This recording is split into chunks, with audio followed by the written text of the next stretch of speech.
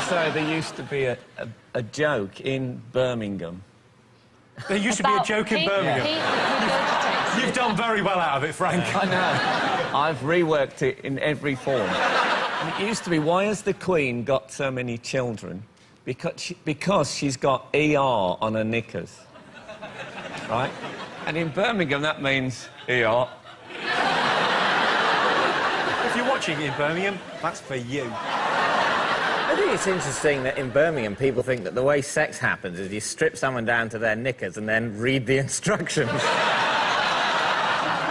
No, she's, no, she's offering ER. yeah, but Well, why would the Queen be in her pants anyway? at that point it's probably clear that well, she's at up that, hang on. At that point, she would be somewhere in Birmingham with her pants fully exposed. the fact that there's instructions on the pants at that stage it's not the main thing that's going to tip whoever it is who was going to have a go over the edge. Surely they would have started by saying, why is the Queen in this bar in just her pants? Someone would go, oh no, oh no, let's not do anything. Let's wait to see if there's a message.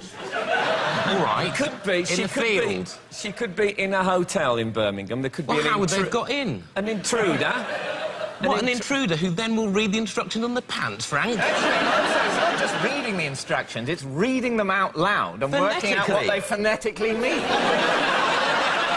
also, in Birmingham, presumably as everywhere else, ER is on every postbox and every policeman's, policeman's head.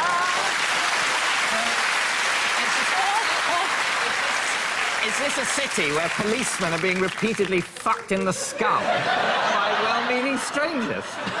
because In certain fact. bars on Fridays, Surely it's No, it's not. it's Apparently, they just save it for the Queen.